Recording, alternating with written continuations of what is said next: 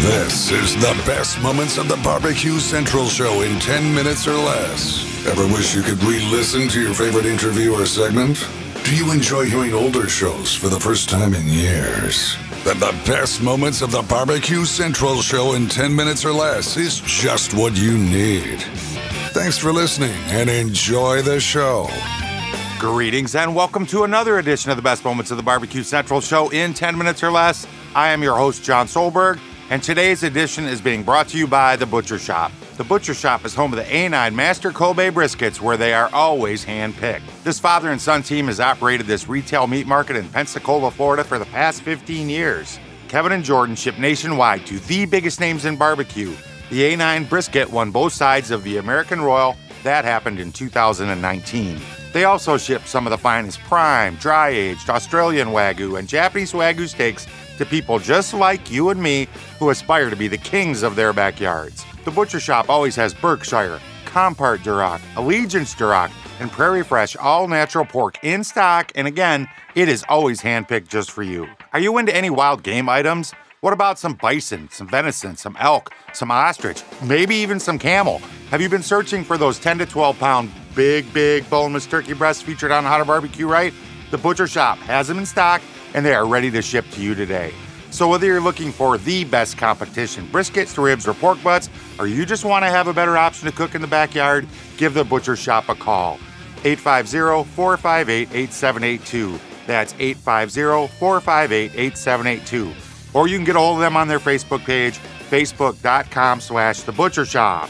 Shop is spelled S H O P P E. And this is what's going on in today's show from June the 29th, 2010.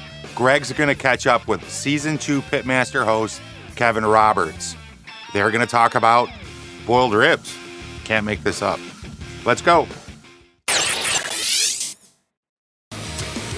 All right, Central Lights, as we all know from the interview I did last week with John Markus, Barbecue Pitmasters is going with a complete overhaul on the format side this season, season two. And on top of the teams, there is a host to facilitate the events, and he happens to be my next guest. He's a very accomplished chef, very successful restaurateur. He's made several TV appearances and also does a college circuit tour as well. So let's go ahead and jump over to the hotline. Joining me now, new host of Pitmasters Season 2, it's Kevin Roberts. Kevin, how are you tonight, buddy? Greg, and of course, no, I know nothing about barbecue. are, are, you pre? Are you uh, are you doing the preemptive strike? Dude, uh, let, me, let me tell you something. We filmed our first episode. I almost got killed by John and Myron Mixon already. Yes, I mean, geez, I give one option out of like six years of doing this. One option. You know what's so funny though? Six years ago, I did this, and I was talking about doing mustard on my ribs back in the day. No one was doing it back in the day. Yeah. And people would look at me like I'm insane. now I go on like websites and stuff, and everybody's like doing almost like a pre like wet rub with mustard. I'm like, oh, geez. Yeah. So uh, I'm hoping in five to six years someone wants to boil a rib. I don't know. Yeah, I, I got, dude, I, I just got killed. I got killed last week on set. All right, so let me let me just do this. Well, you know, I have to ask this question because obviously I'm representing the fanatical barbecue fan base, uh, and, and, especially since most of that uh, fan base was fans of how the format was of season one. Uh, but you know, the question obviously everybody wants to know is: you go ahead, you do that segment on the Today Show Memorial Day, and you had mentioned obviously about the boiling of the ribs. Uh, you know, I'm not so much uh, a non-believer myself of the yellow mustard. Maybe some people might have thought you put a lot of yellow mustard on it, but certainly a lot of people, as you said, using yellow mustard as a, rub adherent. Uh, the other thing that people seem to take issue is with the fact that you said you could cook a rack of ribs in 40 minutes at like 225 degrees. Uh, so, I mean, you, have kind of drawn the ire from some of the uh, the fanaticals. uh, but I mean, is it more of a thing where, look, lesson learned, you just keep moving, doing what you're doing, or is are some of you like, man, you know, who the hell are you? Look what I'm doing. No, no, no, no, dude. I am such a huge barbecue fan. Uh, you know, right off the top. I, I first of all, I've never said I'm a barbecue master. I'm not. You know, I'm not entering these contests. now, I've been to Memphis in May the last five years in a row. So I was there when Myron actually won. I think 2007. Um, you know, I, I I've actually judged some some barbecue. I, I know obviously flavor profiles. You know.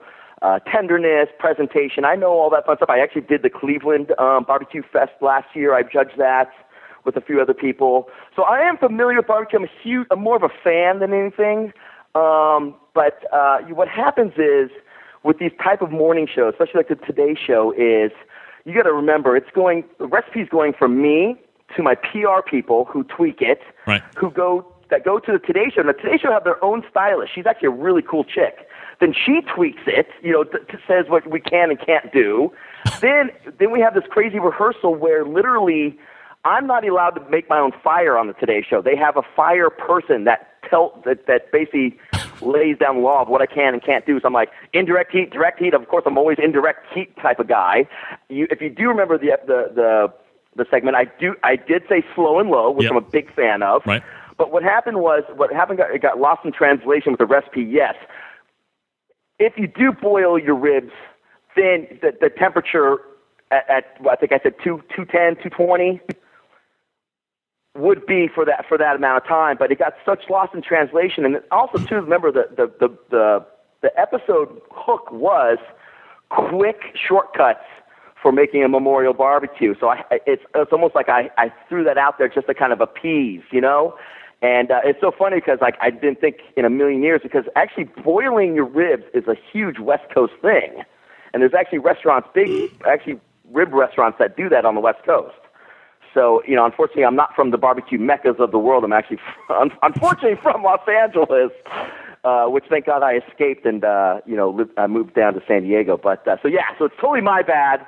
Uh, but you know, there are people out there actually, surprisingly enough, boiling their ribs. Thank God I just as an option. I personally don't do it, but whatever. Yeah, Kevin What do you Roberts. think, Greg? Yeah, I mean Kevin Roberts joining us here is going to be the uh, well, he he is the host of season two of Barbecue Pitmasters. So here's my uh, quick take, and the Not fact is, this interview. oh no, absolutely you are. You can't you can't deny. right after this. Negative. I'll- I'm in good with John Markus. You're okay, buddy. Uh, No, no. You know what? John, John and Myron are great guys, and you know the judges on the show now, right? Warren Sapp Oh, yeah. and Yeah, Art yeah. Smith. Right. So, uh, no, we- it, it, it's it's actually going to be a pretty kick-ass show. It's going to be pretty cool, man. So So, uh, but- even though you got Knucklehead Kevin on there, it, it's still going to be a pretty good show. So here's my take on the boiling ribs. Is I've always and I've known obviously people that have boiled ribs get it done quicker. Uh, my mother-in-law is actually a fairly big believer in parboiling you- uh, Is she still chicken. alive? You guys didn't kill her? Uh, we, well, we haven't talked in like 10 years, but that's a different story for a different day. Uh, but I've always been told, uh, especially by some of the more barbecue uh, elite, that when you boil a rib, you're actually boiling out the fat, which to a lot of the barbecue people means boiling out the flavor. So I can certainly understand where if you're pressed on time or you want to do it quick, and it sounds like you have friends that are very short on time, very short on attention span, and want beer and food ASAFP, which I can certainly uh, respect and appreciate. But to me, to put in the time and you do the low and slow as you said and it, it comes out a, a nice succulent smoky bone which i'm sure as you said you've enjoyed at a bunch of different competitions and, and other events that you've been at oh, that's that's the only way to do it to get that nice what that pink smoke ring, I guess you guys call it. yeah I mean, that's obviously, I mean, that's the golden rule, of course. But as I mentioned, you know, my friends get angry at me, and that's, um, you know, and, and, and, and you're absolutely right about that. It does boil out, it renders out the fat, boils out the fat. Um, and that's actually a big West Coast thing, too, is, you know, kind of making a healthier option. I still want my rib, but I want kind of the healthier version of it.